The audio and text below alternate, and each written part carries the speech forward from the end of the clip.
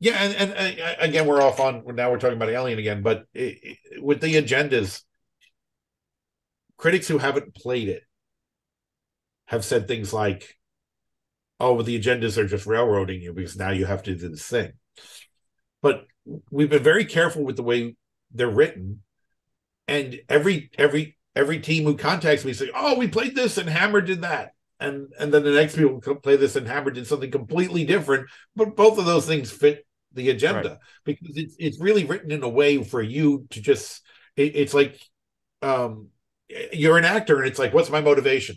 Ah, right. Okay, this this is my motivation. Now I know how I'm going to handle this, and it's not mm. at all the way you would have handled it but it it it it it just enough to get people who don't role play all the time something to focus on rather than sitting there saying i don't know what to do with this character mm. or experienced role players can say oh i can take that and do so much with it based on right. what i know my experience. So in both ways it's fun. Um and and in all those ways it's it's you taking the character and making it your own. Um i i with obi-wan um i had to laugh because everything that the guy who the actor who's playing the Grand Inquisitor um said about how oh I didn't watch any of the show. I wanted to make the role my own. And, and also I was like okay this is the same as when I give a secret secret agenda out to a um to a player you know and he takes it and he's like all right I'm gonna play this character this way. So yeah. you know I'm, I'm I'm it's almost like I'm looking at all reality and equating it to uh, a game mechanic at this point. That's so what we it, do. um, so his Grand Inquisitor was not quite the same as the Grand Inquisitor we saw in Rebels, right? But they yeah. were both clearly the Grand Inquisitor. They both right. they both you know, come from the same basis of this is what this character is going to do, um, and it's two totally different interpretations. So, but I'm a big fan actually of the agendas. I wasn't sure that that was the thing. I wasn't sure when I first opened the box right at the beginning was it was everything going to make sense to me? Like the cards, and not just the agenda cards, but the cards. When you open the first, you know, Chariot of the Gods, it's filled with cards, and I'm like, uh, all right. But then within playing the first, um, Hadley's Hope adventure at the back of the, I had for a quick reference just some of the equipment, and I'm like, no, the cards are good. I like the cards; they're a good idea. But the agendas, they didn't take anything away. It really was just adding a layer. And it's like you said, for for people that are experienced that go like, but I've created a good, well-rounded character. Well, maybe you have, but I never saw the agenda take anything away. It just added that little bit extra. There's times when a character might go, How would I react to this? I don't know. And sometimes the agenda is just enough of a nudge that they could go, okay, maybe maybe they'd do this. Maybe they'd go in this direction and it didn't feel like this is making you do it. it. This is what you have to do.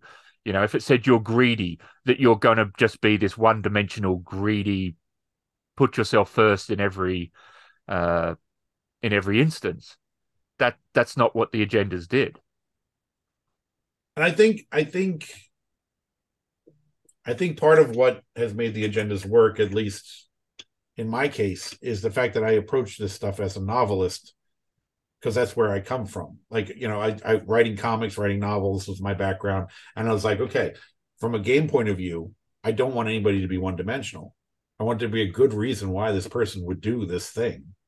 And then I also, because of my gaming hobby for you know 20 years, I, I know that I want don't want to take away a player's agency at the same time.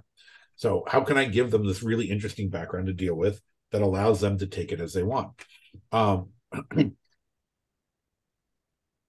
I see people who bad things happen in their life, and I feel like, okay, you use that as an excuse to become a Batman villain. You know, it's it's mm. like um, what was oh, I was making dinner last night, um, and with my girlfriend, and we were like, uh, we were we were frying deep frying chicken cutlet, and uh, some of it splattered towards her. And I, I, pushed her back from the stove. It's like, you don't want to become a Batman villain. And she's like, what are you talking about? I said, well, chicken grease splatters you. Um, and then you're going to hate chicken and become the chicken hater. And she's like, I said, never mind. you know, so or or you could say, wow, is a dumbass to stand so close to that chicken grease? You know, it it, it it's but the, the the chicken grease situation is there that we give you and you can take it and run with it however you want um, and this must be the most bizarre example you've ever gotten before but i apologize it's just no, i like to draw yeah no it's all good, good. but i mean just, that's that's okay. I was going to say, you know, to help, um, I guess, um, characters in Carbon Grey and players, you know, uh, you know, have that sort of um, background for them. You've you've introduced quirks, obligations, remarkable abilities, and mementos as well. Yeah, all of which give you benefits, um, and some of which give you severe disadvantages at the same time that make up for the benefits. You know, uh, but all yeah. of them, like we said before, all of them give you role playing opportunity. Yeah, and I was just going to say, like with the with the agendas, we were saying like which way people go, and that's why you get Again. one character becomes Reva, and one character becomes Ahsoka. Both had in the end horrible things happen to them. Ahsoka was put on trial, and then they mm. went, "Oh no, we're, we're we're sorry, we were wrong." But in the end, she's like, "I'm not coming back." But she didn't yeah. become Reva. She in yeah. even at the end of Rebels, she lost her clones, and only a couple of them stood by her. She went through an, and Anakin and all of that. She could have easily have become a Reva, but she didn't. She became Fulcrum and then the Ahsoka we now see in Mandalorian. Not quite the same, but similar sort of to Reva, and she became a hate-filled. Just the ends justify the means. I'll do lots of terrible things as long as I can get to to Vader, mm-hmm. and you get those as you said, choices and direction and what sometimes little things lead to big things and big things lead to huge things and I think the agendas help those sort of decisions. They definitely help people break break out of their shell when they're timid about role playing. You know. Yeah. Um, and, and to me, that's that's the most important thing with this stuff because you want people to lose their inhibitions when they're when they're playing. You want them right. to to feel like, hey, here's my chance to to do these things that I can't do in real life, and maybe I can be a little bolder than I am in real life because I feel there's too much pressure there. This is my safe zone, you know. Right. That well, I my um technically he's not my brother, but um my best friend in high school, his parents split up and his mother went back to Australia and his father moved to the Midwest, and we were in New York, and he wanted to go to art college with me, and so my parents became his legal guardian, and he moved in with with, with me. Okay, and um, so I call him my brother, and, and, as far as I'm concerned, emotionally, he was my brother. You know, and right. he still he lives in England now, so I don't see him very much. Uh, but Jason was my brother, and we used to role play Star Wars all the time, one on one. Okay, which is not you know, one-on-one role playing is not typical. At least it may be more now, but it, than it was back then. Yeah. But we would play one-on-one, and like I remember at one point, I because his character came from royalty, and his planet had been taken over by the Empire, so he was like a deposed prince is the best way to describe it. But um, and then uh, they went back to the they went back to their home world and were dealing with resistance stuff, and his cousin wound up being given to him.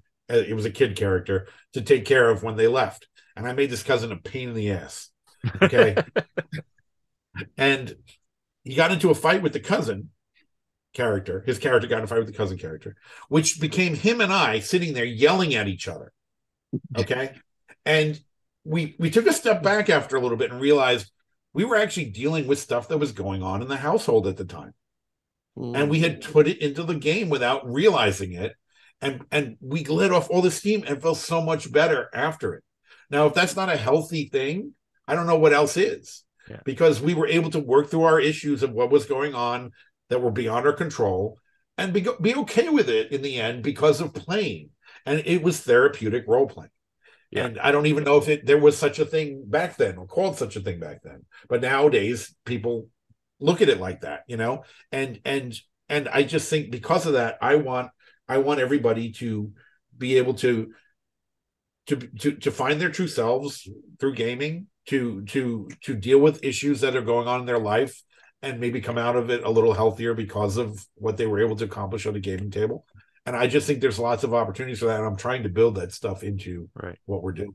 Well, And I think that it's a and it's an important thing in Alien. I know sort of jump between Alien and Carbon Grey, but with Alien, uh, it's got that element. Like if you're playing Star Trek as an example, and depending on the character makeup in Star Wars, you're the good guys. You're fully the good guys, and you're going to do good guy things, especially Star Trek. You're not going to screw each other over. But in Alien, if your character panics, they could run and try to seal the door like Burke did from the other players.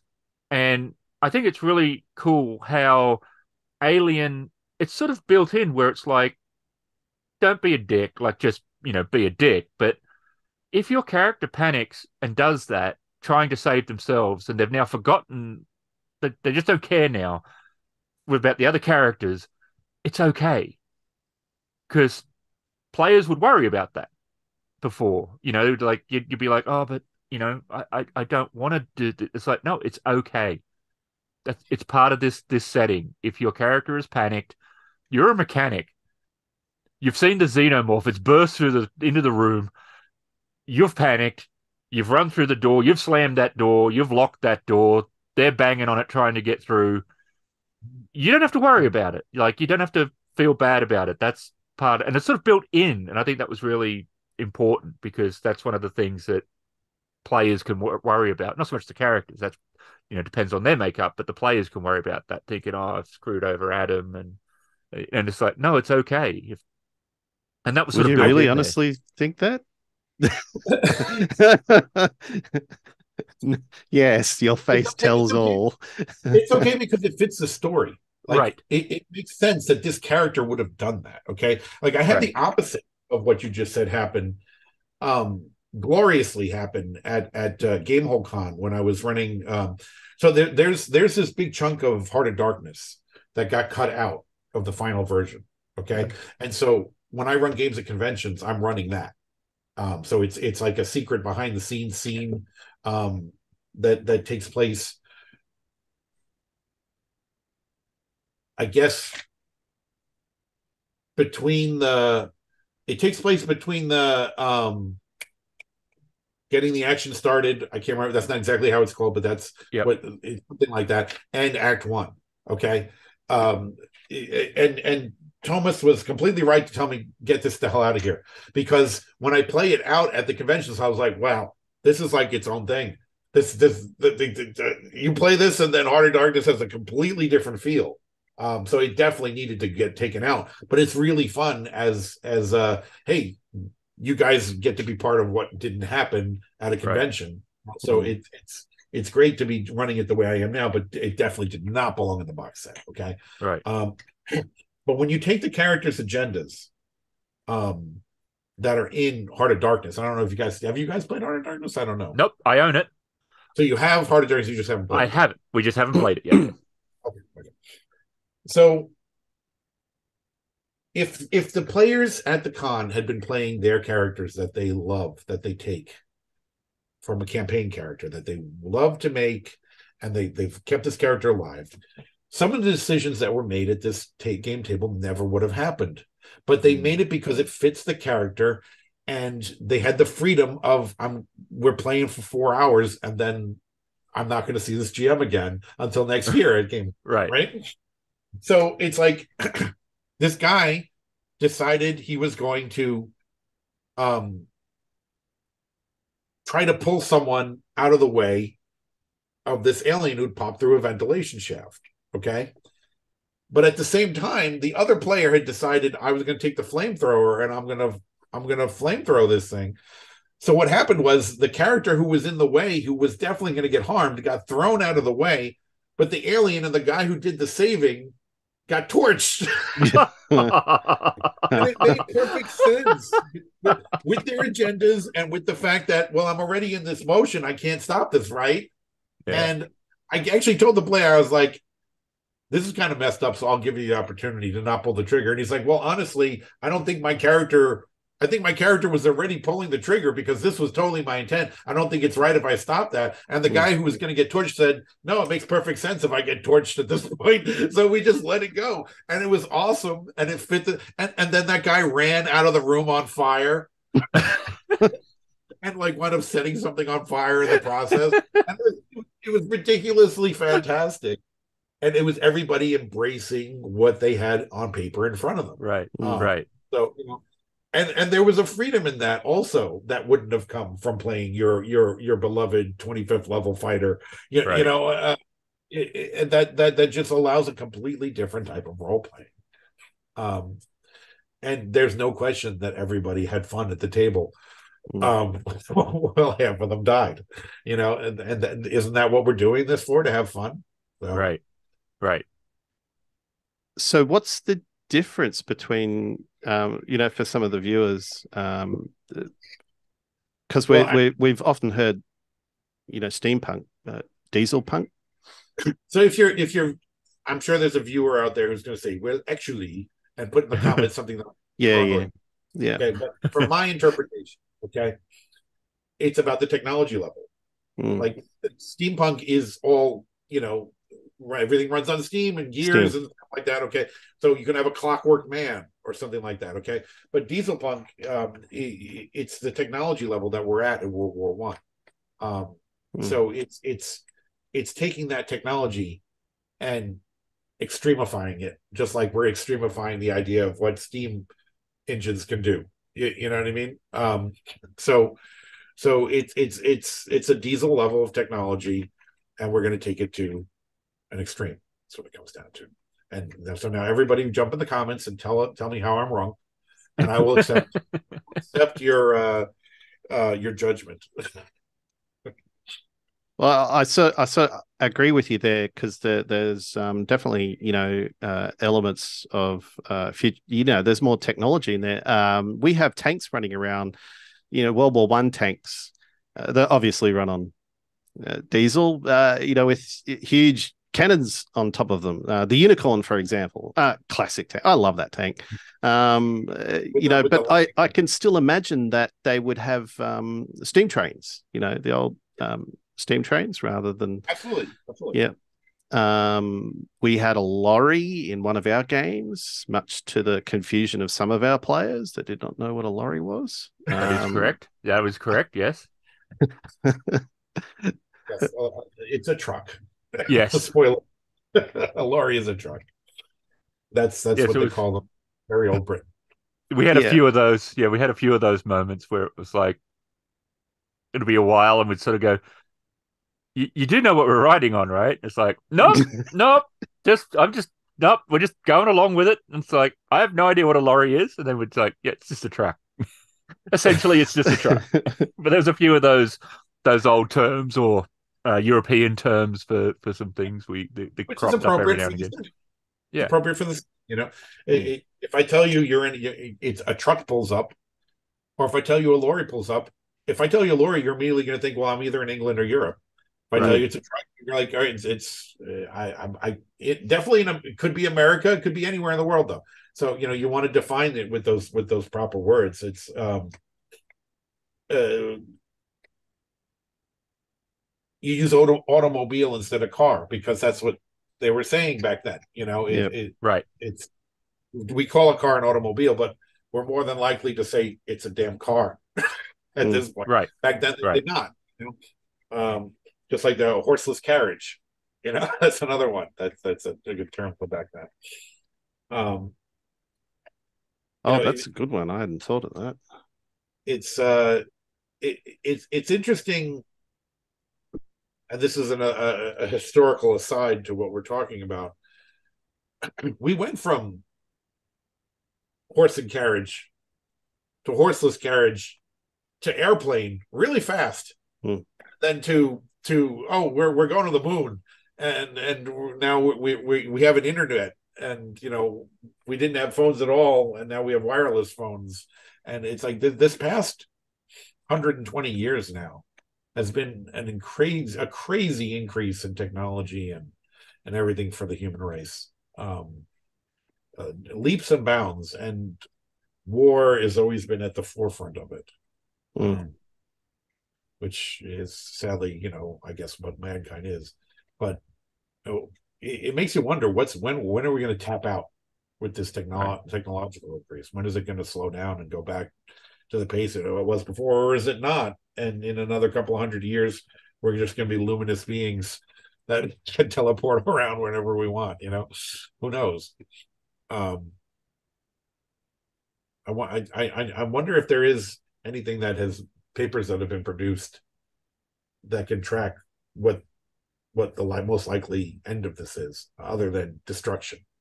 Um, because eventually Yeah, we we, are. we, we have a lot of that in science fiction. Space 1999 and uh, ba- Babylon Technology- 5 and our technology is definitely outpacing our morality.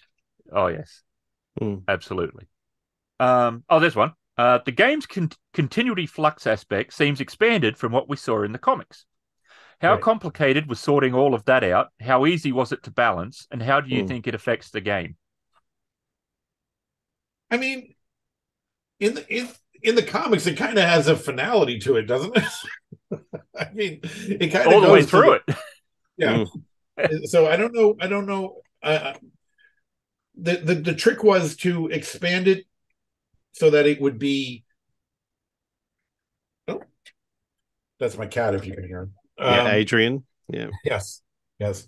Uh, expand it so that it could have like serious consequences without being the end all that it is in the actual comic. Um, so, so I guess what it comes down to is the consequences in the comic are happening on a localized scale in your game. Um, so because if you mess up an area really bad, it's like that area is not going to recover and will probably lead to what's happening in the comic, you know. Um, but game balance wise, and I need to do more writing about this in the in the future books and also in blo- my blog posts probably. But um, if the players cause something terrible, I think it's up to them to find a way to balance it at that point. So if players' activity has led to this continuity cluster uh, cluster flux, um, then they need to use their hero points to try and, and and whatever they can to try and close that and try to make it bring it back to balance. It's in their hands at that point. They did this. If you have a villain who did it, and I'm going to feed my cat while we're in this interview, Mhm. um, attacking my knees. Um, if the if the players did this, they it's up to them to fix it. If you have a villain who did it, that's a somewhat different story, and there should be a game balance thing built in for the GM to make sure that the players can figure it out. But once it's their problem, once they caused it, um, I would give them I would give them ways that they can mitigate it if they don't have the tools already. Um, Mm. but they should have the tools, honestly. they should have the tools there, even if it means sacrifice on their part. Mm. Um, I don't. This I, I, I played Dungeons and Dragons for twenty years. I love Dungeons and Dragons, but this is not Dungeons and Dragons. This is not your character's going to get out of this necessarily. Mm. Um, you know, and even if your character dies, there are options with the continuity flux that your character could die and then walk out of the flux, you know, depending on how things go. Um, so there's um I don't know I, I don't know if I don't know if game balance applies when it was there in the beginning. You were told bad things happen if you mess with the continuity. You're going to keep doing it. Then the game balance is the ramifications of what has just happened. Um, At that point, then the game balance is more in your hands than the GM's hands. I think for our group, the dynamic, you got most of the the group that don't understand what the continuity uh, flux uh, you know beholds and you have this one person who does who's you know going out to to to right these uh, inconsistencies in the uh, in the in those uh, breaks.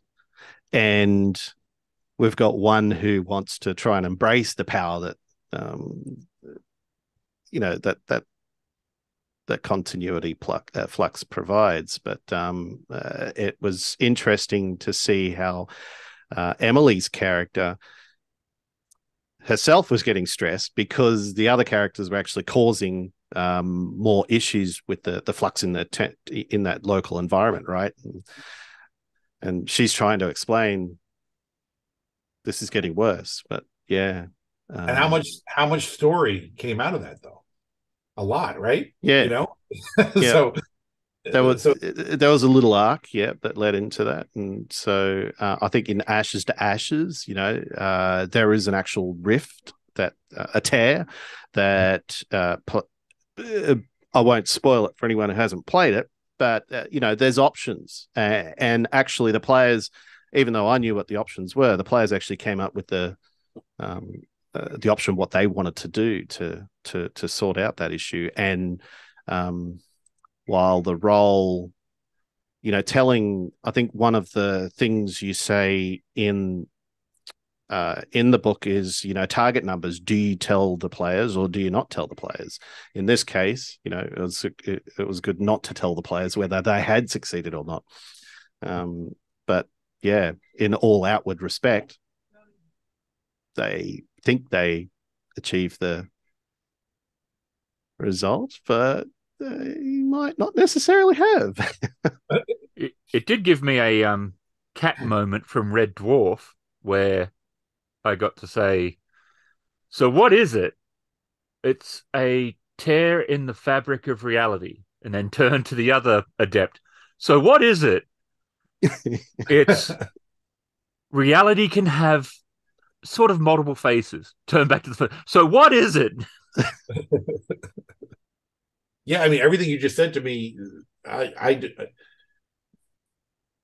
tells me that whether that became unbalanced or not, that was a good time at the table, and it was it was uh, it's good story, and to have your players be responsible for something that that bad is coming means that they are responsible for cleaning it up. Mm, yep. And if they can't, if it's too far gone where they can't clean it up, what they need to do is the right thing for them to do.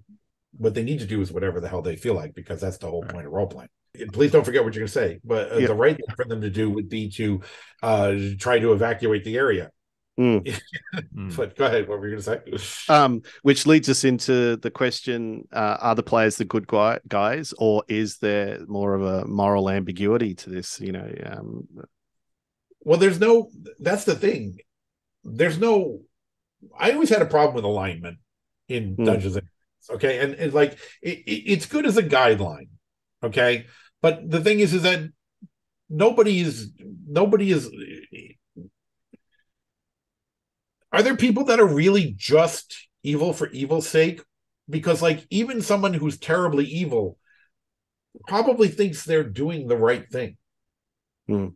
You know, even if they're completely a twisted serial killer who is obviously not doing the right thing, they believe there's a reason for why they're doing this. So they have purpose in their life for I'm doing this because if I don't, then um then the demons will eat everybody who's left's minds. So I've got to kill these people who, whose names all begin with S. You, you know, wait, okay, whatever, buddy. But but that's that's that, that's their purpose. They're not. They don't think they're doing a bad thing um, even even even dictators and terrible people in history they had their reasons for what they did it was it right mm. no i am not condoning any of this behavior please nobody take that out of what i'm saying here and i don't I, don't you dare make an edited version where i am saying that uh, you know so and so was misunderstood no that's not what i'm saying mm. yeah. my point is, is that everybody in reality thinks they're doing something for the right reason you know mm. um uh, if we have a politician, I'm not going to name names. If we have a politician who's doing a whole bunch of terrible things, um, Mm. Are they sitting there thinking, hey, and then I'll do this bad thing? Or are they thinking, well, yeah, that's right. We have to do this because of X, Y, and Z. And Mm. the other people won't be able to benefit if I don't do this. And I won't be able to benefit. and I, I need to benefit from this. You know, so that they have a righteous um, attitude about what they are doing. And, and we're all like that. So who is really the good guys and the bad guys? And is there such a thing? You know, or is there what's morally right and wrong? And some of us try to achieve what's what morally right but even the people who are doing the wrong thing they think they're morally doing the right thing. So are they doing the they're doing the wrong thing for the right reasons or for maybe it's even the wrong reasons but they think that's the right reasons. It's a mm-hmm. really complicated ambiguous thing of what this is what real life is. Nothing comes down to the white hats and the black hats um, and i've i've always tried to put in all my fiction this shades of gray one of the things that i had to laugh about um in my in my I I I, I am I'm liberal. I'm Democrat. Okay. I'm, I'm a liberal person. I, I'm not a conservative. I am not a Republican. Okay. But when I wrote my Planet of the Apes novel, I did not make Dr. Zaius a villain. He's doing bad things, but for what he thinks are good reasons. Okay. And I I made him conservative. I made him like a Republican. Okay. And I've had so many people who are Republicans come to me and say, wow, you really get it. You really understood it when you wrote Dr. Zaius. You really, and you made him a good guy. Did I? No. You know, I know there, but but you got that out of it, you know. Um, it tells me a lot right there. Um, Mm. so you know, doc, Dr. Zaius in Planet of the Apes did for did did what he did, what he thought was for good reasons. Um, he wanted, he thought, I'm saving, I'm saving the, I'm saving civilization for you guys. This is what I'm doing. So you're going to thank me later on. Um, yeah, but you know what? That really wasn't a good thing you did there. Um, but and and we know people who do this in our lives all the time. You know, even even if you have a a, a parent or a relative who's disapproving of the way you've chosen to live your life and the choices Mm. you've made, they're disapproving of that thing not because they're a jerk even though they're doing jerky things because they think your life could have been so much better if you did this other thing Right. without understanding that that other thing is not really you and you did this thing in your life because that's who you are and it's important that you live your life so so yeah the moral ambiguity thing is is is is is important because it's what reality is and it's important for us to deal with this stuff in fiction because it'll help us understand why we've made the choices we've made in real life as well. It comes Right. back to that whole Right. therapeutic i talked about before. Um so i'm going to get off my little pedestal now. Normal things. But but um but yeah it, it's i want my villains to be three-dimensional. I want them to have and my heroes i want them all to have reasons why they do things and there are heroes that do bad things uh, a, per- a perfect example um um i don't know how much star trek fans you guys are Mm. but um but uh, uh Sisko in that episode of d space nine where he does all these terrible things to bring the Romulans into the war so that they can have the support. And and he's like, "Can I live with it? I can live with it. I think I can live with it." And then he deletes his captain's log at the end of it. Mm. Um, he did some terrible shit there, and and and and and allowed terrible things to happen in order to save the the, the quadrant by letting Yeah. by bringing the Romulans into the war under false pretenses. Um, Hmm. but he's a hero. you know, Yeah. there's no question that Sisko is a hero, but he had to do dirty things to get to get us to survive so that he could be that hero. yeah. Um, That might have been the Romulan one, because there was one where he goes and he um punches Garak, and he's like, "You murdered him," Yep. and he's and Yep. he's Yep. like, that might have been the part of the Romulan one because he's like, and Garak's Yep. like, "You needed this, and I did what you couldn't, and you can pretend you didn't know about it, but but you Your greater you good my is help in the this. because you knew I would Yeah. do it for you. yeah, Mm. and all it, all it took was the death of someone who wasn't really that good in the first place, and Yep. you should be able to live with that." Absolutely. I think it was to do with the Romulan. It's a long time since I remember that scene. Yeah. I just don't quite remember all the clicks to it. And he's having to look at himself, and he, it's like, yeah, what's it's They- just they now it's the Rom- hard, hard They, they tried to convince this Romulan senator to come in and to bring the Romulans in the war on the side of the Federation against the Dominion. Okay. And when that clearly wasn't going to happen, Garak had the guy killed and made it look like the Dominion did it. so, Mm. so you know, and and Sisko went along with it because this is how this is how we're going to make this happen because it has to happen. If it doesn't happen, then we're going to lose the war, and then there goes everything the Federation has fought for, and and and the entire Alpha Quadrant is just going to be run by the Dominion. So he did a bad thing and allowed a bad thing to happen, and he got behind a bad thing because that was the only way to make the Yeah. good thing happen.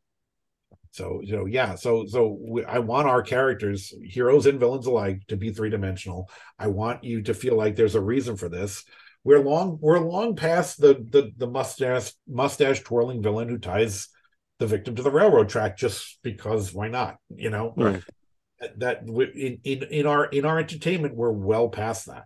Mm. And there are people who are still clinging to the white hats and bad hats thing. I saw somebody online on Facebook. I had to laugh um, because they said um, there was some interview with the new director of the the new Indiana Jones movie who said that there's no white and black here. There's like shades of gray in the new Indiana Jones movie. And this person got mad at that because he said Indiana Jones is pulp, and pulp has always been about black hats and white hats. And I was like, no, it hasn't. The heroes that are in pulp are usually people who are like, eh, you know, he's a little shady for what he's doing there, but it's a good thing he's trying to do. You know, Yeah. It- the pulp itself has always been about that um that that the detective who's sleeping with someone's wife and and you know he, he kind of t- doing something on the side that's a little shady but he's going to be the hero of the story. Um that i'm like you you've totally misunderstood the genre that you pretend to love. Good job there buddy. You know? um but and and that's we can say the nazis are bad we can say that. They're the bad guys okay? But how many of those people were following orders and doing because they believed in their country without understanding what was actually they were doing there Yeah. you know? So and and the citizens of germany are they to blame for what their government was doing? I mean did they even vote them into office? They kind of you know it, it, you- they're victims too in a lot of ways. So it, it's it's not there's nobody who's just these people are all evil. And that's Mhm. something that's important that's being changed in um things like dungeons and dragons nowadays because you know we had we had the drow were all evil. Mm.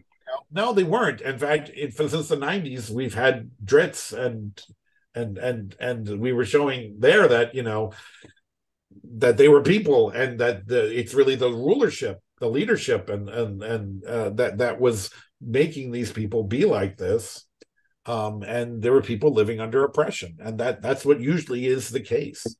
Um and i don't know why we got off on this weird tangent but it, it's it's it's important to me that in our fiction we have characters that are fully developed one way or the other and that's where you get your secret agendas an alien also because i make Mm. sure that if someone's doing that terrible thing there's a pretty damn good reason why they're doing Right. it right. maybe maybe the person who's betraying you needs to pay hospital bills for someone they love you know okay they're doing a bad thing but they're up against the wall and people do desperate things when they're up against the wall Yeah. then that just like i mean burke burke in aliens he's kind of a one-dimensional villain in a lot of ways Yep.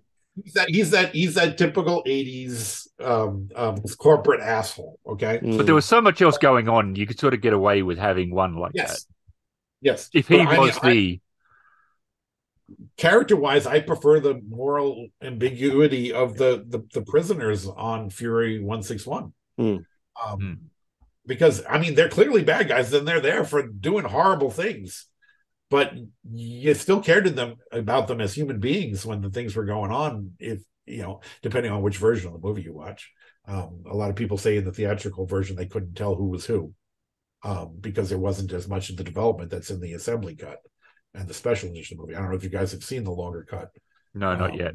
No. Oh, got it. It's so much better. I mean, I love the theatrical version when I saw it in the theaters, but Mm. this blows that away, and I I, I don't think I'll ever watch the theatrical version again because of it. Um, Hmm. It's it's characters are much more developed, and there's much more that you see of what um, the director was going for there that wasn't achieved because of studio interference. Well, that's quite often the case. So, right? Director's cuts, I think, generally are better. Um, This is not. It's important to note this is not the director's cut because he will never have anything to do with Alien again. He did not come back to direct to do a director's cut, even though he was invited back. So this is the assembly cut, which other people put together based on what the direction of the movie he was trying to go for that we're aware of. so it is not an actual director's cut, uh, which is why they call it the special edition and the assembly cut. okay. Mm. He he's so mad with with Fox about what happened with that he will never have anything to do with them again. that that that's that's that's a Batman villain thing right there. Yeah, it is. So wow, we've gone off on some tangents here. Ah, that's Um, what that's what we do. That's what we do. But at least, at least if I mean- he, you know, if he cut everyone's throat after that, you know, it'd be like he could have a trademark move, the director's cut. Ugh. I'm here all week. yeah. Well, so I think I have a problem with my internet. Can you guys hear me? Yep.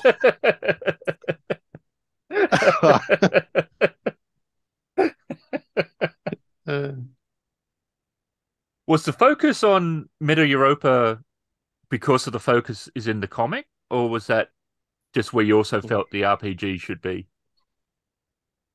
Um, I, it's a it's an RPG based on this comic, and that's what the most developed was. Um, I believe. Well, I know for a fact that um, Hoang is working on a sequel to the comic, and Cool. I believe it's taking it out of Middle Europa. Um, and if that's the case, then we will do source books for the other areas. You know, mm, I didn't want to. This is a this is a world he's still developing. I'm not going to just run off in tangents and do things, you know. So Right. everything we did, we had to get approval for. Um, and and if I knew he was going to deal with a certain country, I'd stayed away, stayed Right. stayed away from it because we're trying to. Uh, I don't want to. I I I- will never. I, I don't ever want my work to be. I took this off on a tangent where I wanted it to do go, and it totally viol- is violated or violates something else that the creator does later. mm, Um, if, if we can talk, if I if I have the ability to talk to the creator to make that make sure that it happens, that doesn't happen, then that's good. Um, with something like Alien, you never know if Right. Ridley Scott is going to go and then suddenly write a story that's going to violate everything I've just done. But I try to work within the parameters that'll make sure that doesn't happen as much as possible. But it's entirely possible that he will rewrite everything. And and and and I try to explain this in my blog where I talk about canon and the tiers of canon. Um, the only people who can violate tier two canon would be a big name director or writer who's going to do a new film. Mm. because they will always no one's going to say well you know the novels kind of uh, say something different ridley so i don't know if you can do that. No one's going to say that to him and they shouldn't. Ridley scott should be able to bring to the franchise what he wants to bring okay? Um and then someone like my job as a canon consultant my job is after ridley does that crazy thing to sit there and say all right how can we fit this in with what we had before? What can we save? What can we salvage? What we what can we just say that that was a misinterpretation of something that happened? Where where can we work this in that it makes sense? So my job is not to set canon. My job is to run damage control for canon if that makes any sense. Right, right. mm. so yeah it, it was a pleasure to work with Hoang and be able to go to him and say hey what do you think of this? Does this work with what you wanted? Blah blah blah and in most cases i um i was completely correct there were things with the map we were completely wrong on which they corrected us on and we were able to fix um Mm. but um but uh like things like adding the wolves he's like i, I never thought anything like that but yeah it works so do it Hmm. you know? um he could have just as easily said that's a little weird don't do that and then i would have saved my wolf idea for something else you know Mm. um so it's it's it, it's it's a it's a pleasure to work with the person who created it rather than fingers crossed that this doesn't get changed later you know Mm. but but tier two tier two continuity uh, or canon in these things like alien is all the novels that are not contradicting anything they're all the they're, they're the stuff in the game which is filling in the blanks without taking it too far. A perfect Right. example is I've avoided in all the role playing stuff, I've avoided Planet Four and the stuff that comes out of Covenant because if if Ridley was to continue that, we're going to find out what happened there, Mm, and I can, mm. I will not touch that area because I know that's likely where he's going to go. Um, but there's plenty of other places to play with in the universe without going there. Mm-hmm. So SPG had asked, why was it World War One, a like a alternate World War One, rather than Napoleonic, World War Two, or modern? Yeah, it never occurred to me to ask Hoang why. Um, I was just like, oh, World War One, neat. We don't see a lot of stuff there. I mean, I was excited about it because I was like, everyone goes to World War Two. We barely Mm. touch World War One comparatively. Mm. Um, and it's it's funny now. It's like, okay, we're in 2023. We are further away from Vietnam now than when I was a kid. We were away from World War II. Yep. And yet, World War II was always seemed like this thing that was so far away. Even back in the 70s, it felt like Yep. that was such a long time ago. Um, it- it- something else that's terrifying. Um, next year is the 25th anniversary of the Phantom Menace. Yeah. Does that make you feel old? Uh, it will when Emily's here and she tells you she was five, I think it was when it came out. Uh, We brought up, I can't remember which film it was, but we were like, oh, that was such a good. We went to the cinema and saw that, Adam. And Willow, he's like, wasn't it Willow? Uh, It might have been, but I thought it was something after that. Oh, but yeah, it was something. It wasn't. It didn't feel to us drastically um old. And Adam sort of said, "Did you ever go to the cinema to see to see that?" And she's like, "I wasn't even born when that came out." And it's like, uh, uh all right, um, yeah, but World War One was uh, hundred years ago now. yeah, Yep, hundred years. Yeah. years. So it's it's um, yeah, it, it was it, it it was appealing to me because right there because I was like, okay, we don't see a lot of stuff with that comparatively to World War II. So there's then that I know how I, I I did had done research in the past on what hell that trench warfare was. So. I thought that something without knowing without having read the comic, I was already interested because of Mm. that. Um You were the GM, so did you have GM related stuff? Because I don't want to speak GM stuff because I I was playing my cavalry scout with my bad German accent. Ger- bad German accent. Well, Um, no, okay, it was a bad German been bad accent, but it was a fantastic Middle Europa accent.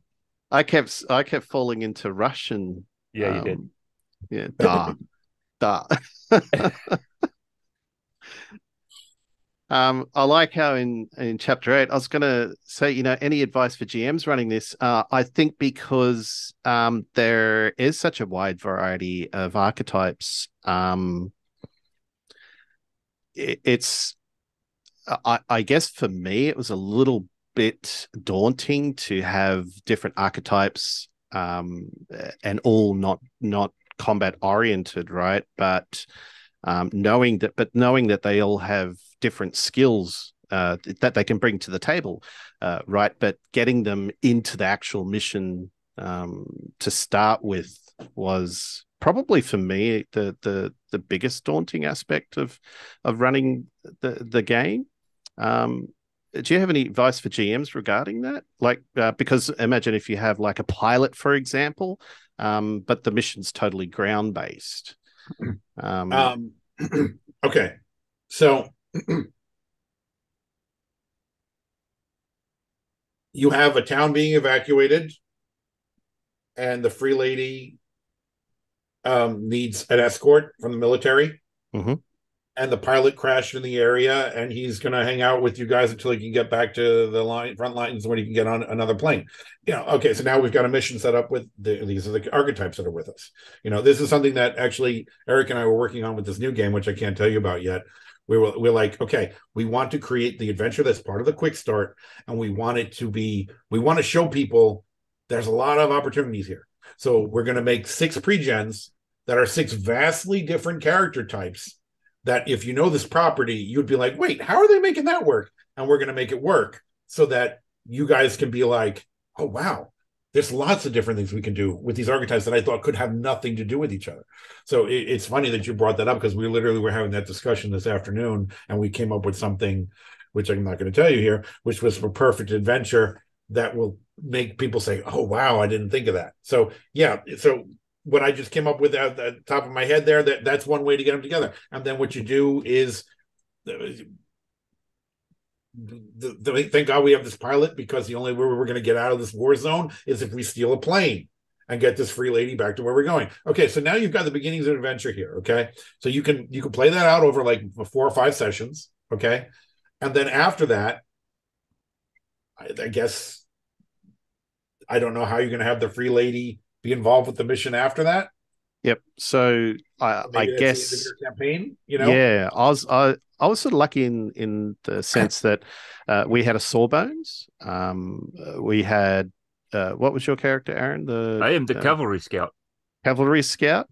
Um, the Daemon adept and the the crazy adept guy. The um, descending apostate. The, yeah. Um, so bringing them all together for me was a little bit of a, a challenge at the start, but um, uh, because I wanted to continue on, so um, I've had to come up with creative ways to introduce that. Well, I introduce them to you know together at the in the very first you know saving the children mission. And then from there they now have sort of this relationship uh, with each other. Um, and i guess the the continuity issue was how i've brought everyone together. Um, it's not going to be like that for i guess every every group but um, it, it does provide you with a challenge but i mean it's such a creative uh, challenge. The uh, which leads sort of into would car is Carbon Grey more suited to you know just having those one-off sort of games? Or do you think um, you can campaign it? Well if the free lady if the free lady has a family that's wealthy and they get back then maybe because she was on the front lines and saw all this stuff she wants to um, fund a, a, group that's going to be going behind enemy lines and getting people who can't out and so now she's actually going to go along with them to make sure her money's spent right. And now you've got like an A team type situation where the the sponsor goes with them, and then then there you go. There's your campaign. Now you've got it set up. You, you know what I'm saying? It's it, yeah. It, there's always something that can be done to make this work together. So that's um, that would actually work with um having the GM and the players talk to each other as well, yeah. um, and communicating that. Yeah. Something else that I was playing with, which we decided not to go with actually this afternoon when we were coming up with this thing for the quick start I was talking about, was because I don't know how to make this work yet. Um, because it, it's it's counterintuitive to the way gaming is usually set up. Um, but I like the idea of GM has to have one session one on one with each player before mm-hmm. they all meet. So you set up an adventure that's going to lead them into a situation where they're going to meet the other players. And you you you you set you set that up so that all of them end a certain way and then you have you know five weeks in you have five players in this situation in this scenario. Five weeks in everybody has to get together and now we're picking up where we left off where we all meet together. So everybody has a story that they've played that has logically led them to the point where they meet everybody else. It seems like a lot of work and I haven't figured out how to. You, it's not something you work into a quick start. Yeah, you know mm. I mean? mm. yeah. It, it, it's, it's it's definitely something that we've done. Well, I, I've done with one of the other games that we've played um done that individually with each character before they get in because uh, i think from our perspective you all meet at the but you know the the, the tavern so wow. that's so cliche it's like ah oh, slap your head and you know uh, uh, everyone's got to have a story. So um, doing that one on one, I think, was uh, really good because it provided everyone with their the story, whether they chose to tell the other players or the other characters at the time. Um, you know, some some secrets were hidden, right?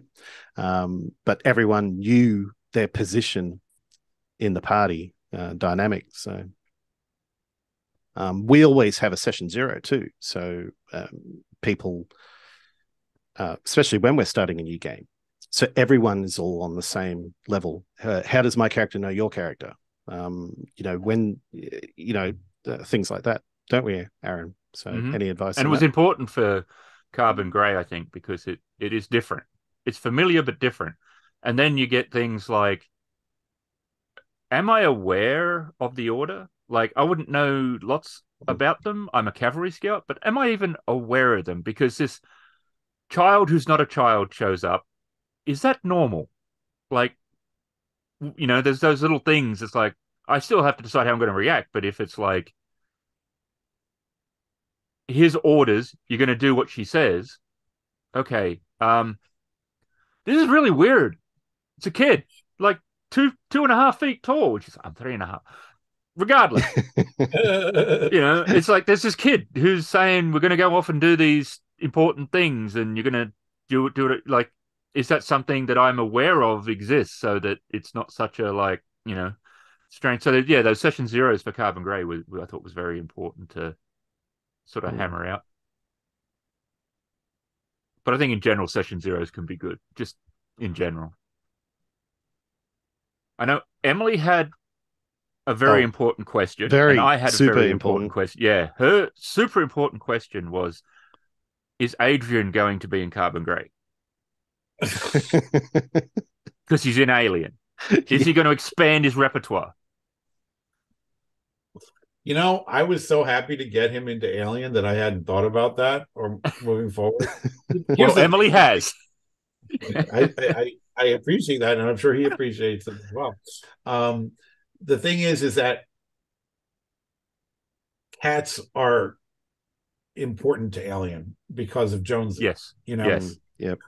So, um, if I had a wolf dog, then it would be in Carbon Grey. You know what I'm saying? Yeah. Um, I don't know. I don't know. It, it, it just depends on the property, and it, because because of Jonesy, it was super important for me to get Adrian in there.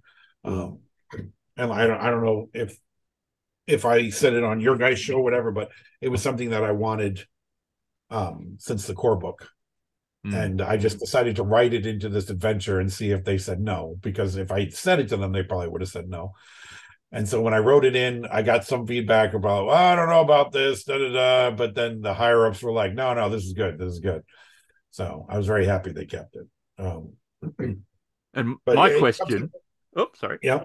No, I was gonna Um, say it comes to a point where it's like if you're gonna try this, you just got to roll the dice and, and hope that they don't make you Yeah. rewrite it. Mm. you know? Mm. Uh, it's po- possibly the most asked question in Alien, and we didn't ask when we were talking about Alien because it didn't seem relevant, but I think it's incredibly relevant to Carbon Grey, and that is: Is the Predator going to be in Carbon Grey? Oh my god!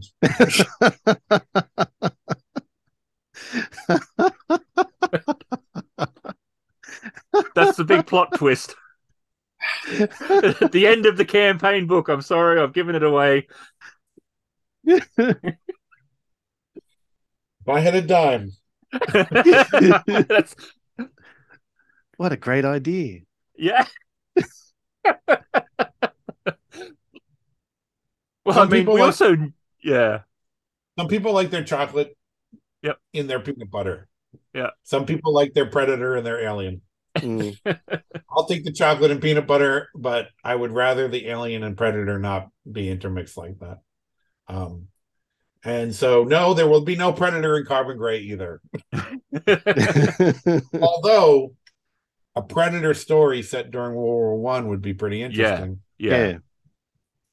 Well, the the No, new I- Predator movie, right, would have been, I think, a really good movie if we didn't know that it was going to be a Predator movie. Prey. Yeah, in the trailer, yeah. they'll never, Uh, they'll never do it, though. Yeah. They can't do that. It- it- just just promotion wise um there's so many movies that and, and properties i think that would be so much better if you were unaware of the premise going in Yep. but Mhm. that's not how you sell tickets so Yeah. unfortunately Because I think that'll it, that one, I mean, it, I guess that's also a problem for RPG campaigns too, to a degree. Like that one, I felt if you cut the Predator out of the trailer, it was still compelling. It's like, okay, First Nation, you got her story.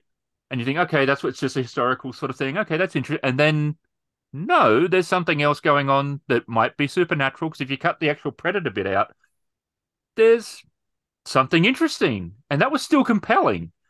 And that would have still been like, yeah, I got to see that. That that looks cool. And then you would have seen it, and suddenly, oh my god, it's a Predator film. So I think, but that, you know how many people would have seen that and said, "Oh, what a cop out! It's a Predator Yeah. film. Was lame." You know what I mean? Because just because they people are jerks. Um, Because how Yeah, do you sell not an alien one, but how do you sell a campaign to make it interesting enough to have someone buy it, the GM buy it, but not have so much information on the back that the players, who so many of them will pick up the books in the stores and read the back, will then go, "Oh, I know what this is about." Because they sometimes the outline on the back is sometimes just a little bit too revealing. I think.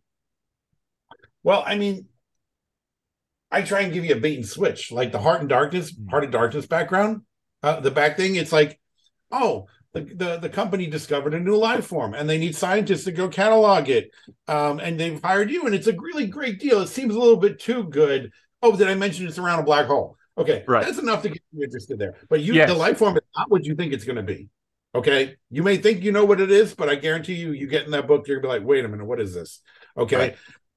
it's it it it's the bait and switch, which is literally not a bait switch. Right. Um, that's when when I was um when I was taking my writing for comics class at School of Visual Arts back in college. My my my teacher who wound up becoming my mentor later was Denny O'Neil. Uh, he was in charge of Batman for 15 years. Um, he he wrote the Hard Traveling Heroes, Green Arrow, Green Lantern thing in the 60s. Um, so so Denny Denny was a great writer. He one of the things he he wanted us to do, and this applied to the previews blurb for comics, but um, he was likening it to novels, was make sure you can write that summary that goes in the back of a novel that makes people say, I gotta read this, but doesn't give away the whole damn plot of the novel. Right. Because so Right. many of them I'm like, well, I don't need to read that one now and just put it back Right. on the shelf. Um, so so so yeah, it's it's it's something that I was literally trained in Mhm. by, by him for that because because uh, it was something that used to piss him off. So he wanted to make sure we didn't go do it. Right. So um there's an art to all this stuff. Um, but there comes a point. I mean, okay, so one of the things that I thought would have been awesome, well, oh, and then I found out it almost was, was that if they didn't let us know that Arnold, spoiler alert, was the good Terminator in T2. Mm. And I was watching the movie, you know, years and years and years ago. And I was like, you know, the way he walks down the corridor with the roses and drops the roses and pulls the gun out, Mm. it's almost like Cameron shot this to try and make us think that he was the bad Terminator. But Yeah. everything in the advertising made it quite clear that Arnold was the good guy this time around. Yeah. And it turns out that when that advertising was coming out, he was super pissed. Mm. He didn't want them to give that away. He wanted people to figure that out in the theater. And and but the marketing people were like, Are you kidding me? We're gonna get people in those seats because Arnold's the good guy this time. Mm. So they're right, but the story suffered for it. Mm. Right. But at the end of the day, this is to get people in those seats. So the worst thing in the world is trailers from the 1960s. Yep. Because it's like it, it- it's like Planet of the Apes. It's like discover a world that's been turned upside down, and it's really Earth. Here's the Statue of Liberty. Like, oh, Right. thanks. thanks. I appreciate that. um, yeah. At least trailers aren't like that anymore. Um, Right. but yeah no it's it's it's a thing you don't want to give it away um and and and with chariot my chariot of gods my my my plan was to set it up so that you think this is going to be alien exactly Yep. derelict ship found you know um um company wants you to bring something back from it da, da, da, da, da. it's like all right that's alien right and that's why that adventure works so well your players sit down at the table like all right show me Alien. Wait, what? Yep. What's going? Yeah. What is this? Yeah. If you didn't have that, you know, and the initial critics for Chariot were like, "It's called Alien, but it doesn't even have the alien in it." yeah but it's a big setting. There's lots going on. Yeah, and if it did have the alien in it, your players would have gotten bored real fast. But because they did, weren't sure what the hell it was when it happens, they have that fear that they need to feel in an alien game. So um, that's how that worked. Otherwise, it wouldn't have worked, and it would have been probably what I, I don't know if I, I think I've said it on you guys' show. I said a lot of things. I shopped that Alien as an RPG around for 18 months Yeah. before I finally gave up, and a friend of mine got Free League, found Free League. Um, what do you call it? And for 18 months, they all said to me, it's a one hit wonder. No one will care. But I think by not, by doing the twists that I did there, by tricking you into thinking it was going to be something it wasn't, that's what made us, uh, us, us made it work and made it successful. Well, I think that uh, I the thing that I I did say I think on the last time was that it works as a setting because it's not just alien, and you can do a space trucker, you can do a marine, you can do the scientist, and each one is different, and you've structured it too, which I think was probably really brilliant. Now that I've got all the books and been looking more through them, it's a player campaign, not a character campaign, because although of course there is a campaign for the colonial marines but the moment you went this is a space trucker campaign only every following adventure you had to do for it then would have to be a space trucker one in some shape or form. The moment you went this is a game we're just going to center on space marines it would always have to be a space marine one but that's not what it is. The players are the same the characters are different so they can be linked and there's elements that are but each one is, oh, this is a great idea for a space marine. Cool, that's the middle one. Oh, this is really cool for scientists. That's the third one. Oh, we can do a space trucker. That's the first one. They're all different, so it's not just going, oh, but how do we take this? Should be a great marine one, but it's not about. We don't have any. That's not a book out yet, or we don't have that yet. We've got to turn this marine one into a space trucker one, and then it would. I think it would get more or if it was Marines, Marine, Marine, Marine, Alien, Alien, Alien, Alien, Alien. Oh, this week we're going to go and land on LV 427 and shoot more aliens. And then we'll do LV 428. And guess what we're going to shoot? More aliens. And that's not what this is. Everyone is different. And there's other things. And even, even in Chariot, the actual stuff that's going on all the fringe hmm. stuff is impossible to ignore. You can't just go, well, this is the main threat, so let's ignore all of this. You can't. If you just if you do that, things get worse. You still have to sort of work with what's what's going on and and trying to balance as the the party all this stuff that's happening and I think that that's what makes it not this one trick pony because otherwise which is I think the problem with computer games whenever they sort of do these sort of things. And even games like Halo as much as I love the Halo series they kept having to add other villains and stuff because it was like well how do we keep just doing the covenant? And I think that you could but I think they kept feeling they got themselves pigeonholed. So then they had to introduce a new galactic villain and the stakes get higher. But the stakes are super high in each one of these adventures but it's like the Magnificent 7 the Magnificent 7 has tons of stake, but it's only related to that village and those gunfighters. If it gets burned to the ground and they all got killed, it doesn't affect Mexico or the United States as a as a mm-hmm. nation, but to that one place, and you still feel that stake. They didn't go, well, we're going to do Magnificent Seven two, but now it's going to be a town, not a village, and then we're going to do a city, and it's it. They didn't do that. It's just this centered around this one thing, and that's what these are. Each one is really important to each part that it's in, but it's not like, oh well, the next one has to be you've got to save a sector, and then it's going to be save the galaxy, and I think it it, it works. What's interesting to me um about that stuff is like one of the reasons like okay so one of the ways that they trick us into being scared again in an alien movie right when we know what the alien is is by adding a new stage to the life cycle okay the queen. Like they're talking about it in in in the thing that well, what's laying all these eggs? Must be someone we haven't seen yet, right? Then when she stumbles into that chamber, you're like, oh, holy shit. Okay, everything everything we thought we knew is different now, and now we got to Yeah. deal with whatever the hell this damn thing is. Alien 3 comes out of the dog or the steer, depending on which version you're watching. Regardless, it acts much more animalistic. It does things that are weird. She even says, I've never seen one do this before. Okay. It's it's a different version of the alien. Okay. The the neomorphs in in Covenant are terrifying to me because they're the spore things that and they Hmm. just they come out of whatever body part they entered, which is disturbing in so many ways. Um so it's all variations. You're still getting the same thing, but it you don't you never feel safe Right. because what's it going to turn into this time or how's it going to infect me this time or you know you don't know what to do what's going to happen with it so you're getting variations well even though you're technically getting the same thing okay? So the escalation isn't an escalation so much as uh we haven't encountered this part before.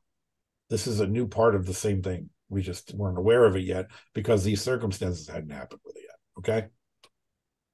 The biggest threat in the alien games uh games in, in the game in the movies in any of it right the biggest threat is really people it's not the alien Right. okay it's those damn agendas it's if people trying to do things that aren't necessarily going to get everybody out alive whether Adam's it's fucking David, rolling too. With, The amount of stress dice you got, my God. well, but, I mean, stressing out, that's you Yeah. being your own worst enemy instead of being able to stay calm, you know? right. Um, right. But you know david's agendas and ash and and and even if it's even if even hudson Yep. like hudson being a coward could get everybody killed you know uh, it, it, in the end hudson definitely redeemed himself but then he Right. died because he redeemed himself so Right. luck with that um so it's a complex it's a complex property it's not just that one note thing that everybody seems to think it is Right. so, and I'm, I'm just glad we were able to make everybody else see that. you know? Oh, I, I've told everyone whenever they say what what was the most surprising game in a, that we you know bought into or picked up in the last few years, I always say Alien because before looking at it, I was interested in it because of the setting, obviously, but I'd seen the other game in the past, and while it was a product of its time, so I don't want to slam it too much, uh, it, it did feel like the the limitations were there. Whereas Mhm. the moment I started reading the core book, I was like, this is damn interesting as a book alone. When I've told people, are you a fan of Alien?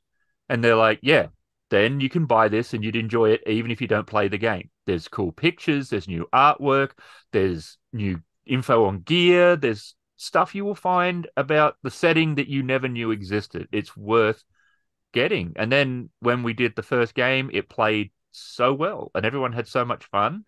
And yeah, I mean, most of the games we've bought into recently, uh, is in the last three years, is either Free League or Modiphius, which has a good relationship with Free League. So there's there's something there, but it's Twilight, Blade Runner, Tales from the Loop, One Ring, Alien.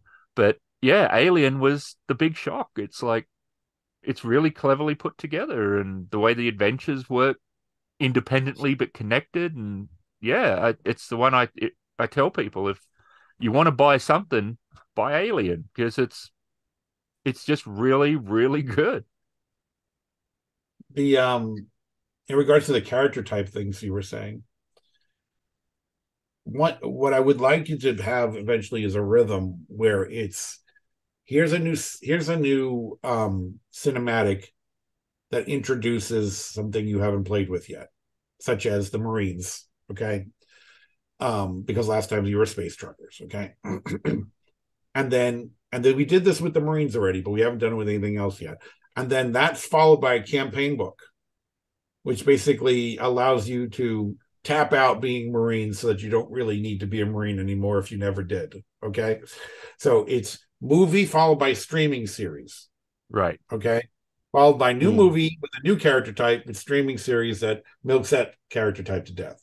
Okay, so so after Heart of Darkness is scientists slash explorers. Okay, the next the next campaign book is explorers slash colonists.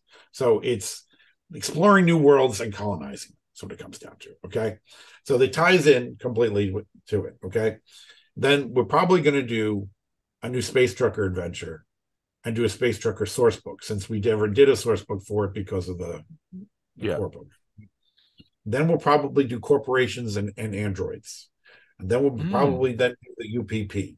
And then we'll, you know, it, and, and it's just until we've exhausted all the different factions and materials that you can do.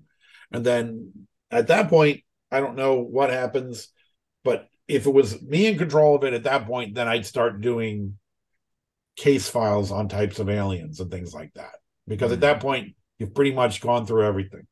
Um, so you need to, we need to change, we need to add some new elements to this to change things up. Um, even with the campaign books, I write them not expecting your characters to survive because Right. if when writing when writing the when writing the colonial marine one if your character dies you're going to get a replacement in your unit. You know what i mean? You know you may go for a couple of missions down a couple of people until you get a, re, a, a refresh and resupply you know and then you're going to have new people come aboard. Um, with the colonists the way the campaign is going to be set up is that there's a colonial mission which has smaller missions going to explore smaller areas of space. So again, you'll get replacements. You know, it's it's designed so that replacements are easy coming.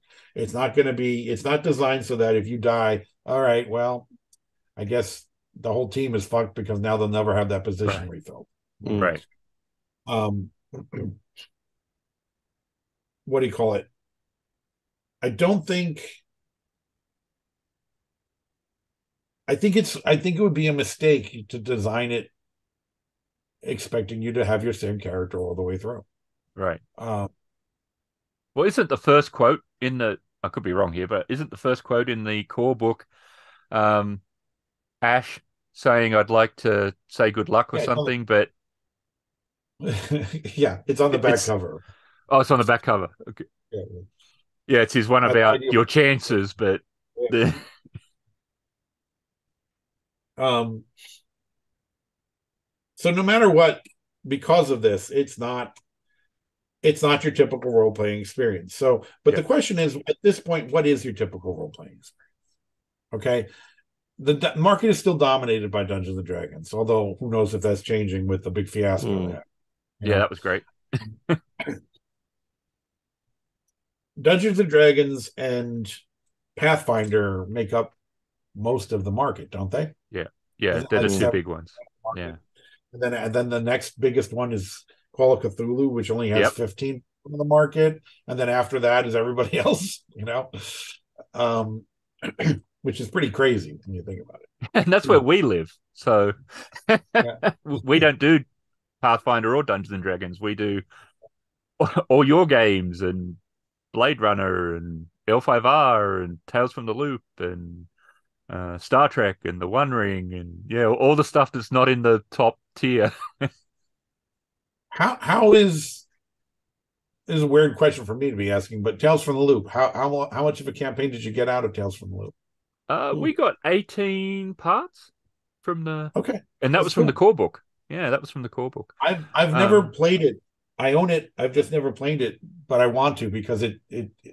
I watched a few episodes of the of the TV series. hmm Did you, did you see the TV series? Yes.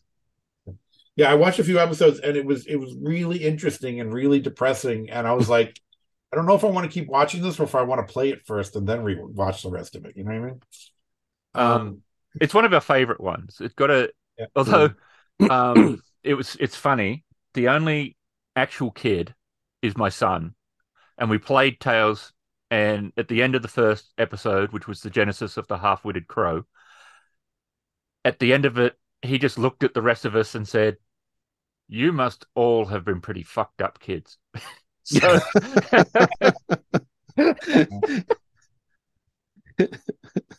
but it's a, we love it though. That's um, mm. it's an extreme RP game because you can't die, and it's then straight away asking the players to buy in, and it's so important because when you've taken away that, like, it doesn't mean nothing bad can happen. Bad things can happen all over the place, and they can happen to other people, but the kid can't die, which is your usual threat in a normal game. Your character can die. Well, not in Tales. They don't want to kill kids. So straight away, though, you're asking the players to buy in, almost in a way I'd say that you have to in Alien. It's very easy to talk to someone who doesn't get it. And they go, okay, there's a face hugger. Yeah. So we throw the guy out the airlock. He's your brother. You're just going to throw your brother out the airlock. Well, yeah, he's got a face hugger. What is that? Well, it's a, it's impregnate. How do you know that? Yeah. Oh, I saw the hmm. movie. Right. You saw the movie. They, they don't have the buy in. And it sort of works like that too. It's sort of like, okay, you can't die. So you don't know that this robot or flood or whatever is happening is a, a mortal threat to your character, but your character doesn't know that. So it does mm-hmm. rely on the players to go, okay, I'm going to buy in as if this was a TV show and I'm going to play my character the way the situation is asking. And I'm lucky that that's the group I have. And it was a lot of fun. They like talking too in character. There's a lot of discussion. They don't meta stuff. So anytime they have a plan, they will talk about it in character. And a lot of those plans are terrible because they're plans that a kid would come up with rather than necessarily a well thought out adult. And it makes perfect sense when they do it. So yeah, I love Tales. I think Tales is a really clever game as well. I think mm. yeah, absolutely. Um I yeah, um I, it's fine. I had a girlfriend who we'd be watching things and it's like let's pretend it's um I, I think this was a Voyager episode, but whatever it is, the the decks are collapsing from compre- they're being compressed because it's lost the pressure, mm. and the decks are collapsing, and everybody's going to die. And someone's holding the door open for the people running towards it, and she's just like, just close the door. You're going to lose the whole ship. And I'm like, yeah, because you don't care about those people. I think you're not thinking about it like you're in that moment. You're not right. You're, mm. you're, you're, thinking about this from your couch eating popcorn. Right. right. It's not the same thing as if you're in a situation you don't want to kill somebody. You know, right. you you hoping they're going to get their asses there soon enough. Um. So so there was never any. To her, there was never any real jeopardy. There were people being stupid. Right. right. like right I was like, you know, no, no, you need to be able to be absorbed by the story. You need to feel like you're there. What would I do in that situation? I would want to save that person's life until it was clear that there was no way I was going to be able to, you know. Right. I'm not going to I'm not going to kill myself, but when that clock ticks down and there's two seconds left, is when I'm going to hit the button to close the door. Right. Um, mm.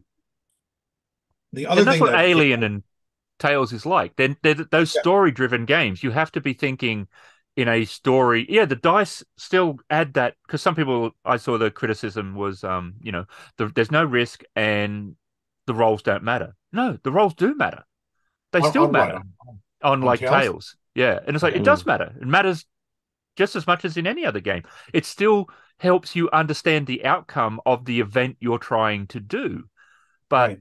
it approaches it mm. in a different way and um I think it has one mechanic that Alien doesn't, which I, I think I could be wrong. I don't think I am, but they have um, a collective amount of successes for certain things. So let's say there's a boss fight at the end, and the boss might have 12 successes required to beat it. So you go, what's your approach going to be, Adam, Emily, and Drew? And then there's a little bit of meta there because you will go, okay, my character is going to do this, going to do this, going to do, and then you'll roll your dice pool based on that, count up your sixes, and you go, I got four, I got three, I got two, okay, and is anyone taking condition? Anyone doing it? And if you get enough, then it's like, okay, now you succeed. How do you do this? And I just, it's handed over to you as the players to now describe this scene not so much me, the GM, which is a huge difference to so many traditional games where the GM is almost in control of everything. I've given you the problem, robot with a machine gun. You've got enough successes. You've beaten it. So how does it do this? You know, how do you how do you, and then everyone starts working together and uh, telling the that this scene and this this sort of story much more like around the campfire. And the dice absolutely played a part. It wasn't I like I like inconsequential. And Tales does that, and everyone sort of backs each other up and adds to it. And then you get these little bits, and Dylan jumped on the back of it, and he's like, "I succeeded. What do I do now?" Um, that's another interesting thing. You, you these people who say like they complained that the dice don't mean anything, right? Okay, so most of not that there's a lot of complaints, but the most of the complaints I have seen about say Destroyer of Worlds, okay, it's it's always I don't like this thing. I don't like this thing that he's added in Act Two. So I'm removed it before we played. And I don't like this other thing, so I took it out. And then we played and everyone hated it. It wasn't fun. And I'm like, so you're blaming my adventure when you modified it before your Mhm. players got to it. Mhm. you, you see what I'm saying? It's like it's like maybe that thing was there for a reason Mm. you've got to look at balance before you go well i don't like that i don't like that i don't like that you're just Right. taking it out maybe maybe the guy who wrote it put it in there for a reason and and you should look at well wait what does that do oh that affects that over there i can't take that out unless i replace it with something else that will keep that balance there you know Hmm. it, it it's like it's like they think that i sat here in one night and i just hit on the keyboard and then turned it in. no, we, we thought this out. we thought these things out.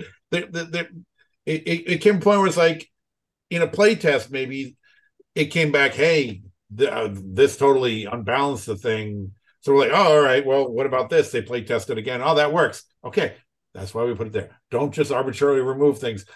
Look at the whole big picture first, please. Um, they- But there's The- the Easter people- eggs too. If if people cut something out and that was where one of the Easter eggs is, they get to Heart of Darkness and suddenly there might be a little thing that a player might go, "Oh, that's related to that thing we did back in Chariot," but it's not there now because that's been cut out because they thought that this was whatever. the um funny thing actually funny thing with that sometimes it gets it happens at the publisher level um i had had the Weyland storm rifle originally in the armory on in chariot of the gods because that rifle existed at the time that that ship took off. And someone at the publisher was like oh why don't we just use this gun? We have already and swap the the the pulse rifle in there without thinking about the fact that the pulse rifle is 70 years negative 70 years old at that point right? Mm. so so when i saw that come back in before it went out i wrote a little thing saying because they didn't want the new stats for a new rifle in there. So i wrote the little thing saying that the ship had been boarded by a marine team before this and that will tie in to what's happening in one of the later books. And then they didn't put that in either.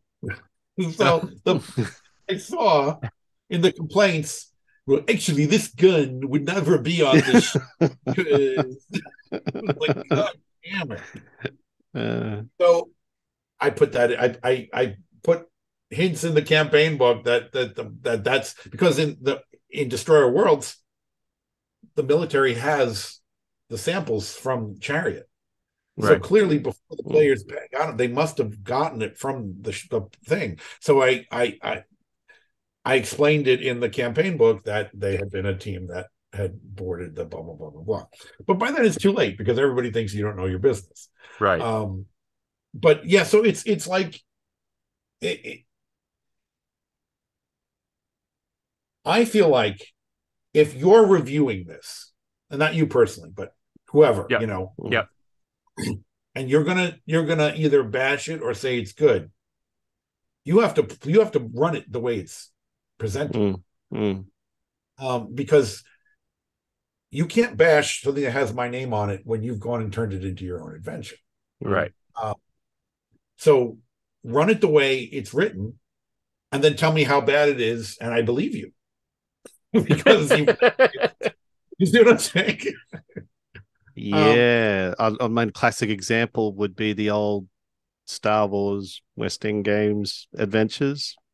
Um, I think we played one the other uh, couple of months ago. Was it Starfall or something? Was it Starfall? we did Starfall and Tatooine Manhunt. Yeah, where the captain of the ship is going to scuttle the ship and decides to give the crew, uh, uh, the the escaping crew, uh, an ATST to teach them a lesson Okay. on board an Imperial Star Destroyer. Yeah, yeah, that's Starfall. Yeah. Uh, uh, I will um, beat you anyway. I am that good, and I will teach you a lesson. You may use this ATST, It's T. Yep. and I will twirl my little mustache while you get into it, and then I will destroy you while you're in it. it's like, what? What is this? I have not seen that adventure since it came out. That really happens in there? yes. Yep. and the What did- game is so good. Like, it's what did? How did this happen? It- The first thing that would happen is that that commander's second in command would relieve him of command. Unfit for duty. Yeah. You don't give you don't give major weapons to bad guys. Oh, Right. they consider- Yeah, we're the bad guys to him. Yeah, no, you're right. Yes, yes. Arm the terrorists on our cruiser, please. Arm the terrorists. I mean, Oh. I, I know the, the the writer was probably thinking, how can I let the players, you know, and the characters get access to an ATST? But having the villain be, I am going to teach you rebels a lesson, but you may use that ATST just to show you how superior we are. It's like, mm, mm, mm. He's drunk with power. yes. Too much blue milk. yeah. Uh, See, I used to use those. Um, I I never ran any of the Star Wars adventures. I mm, bought them all and used them as source materials. Like um, I I I plucked. I like I love Jodo Kast from Tatooine Manhunt, so I. I oh liked it. yeah, yeah. Right. Um, I like the idea of this jerk who was running around thinking, "No, I'll take Boba Fett's jobs." Right. Um, and I thought it was great that they did a comic later on where uh, uh, Boba Fett's like, "Excuse me." Yep. Um, Twin Engines of Destruction. That was the comic. Yeah, that was a Um, good comic too, though. Like that was also with the one where Dengar's like, "So why do we never see your face?" And he turned around in the shadows in the the panel, and he's like, "This is my face."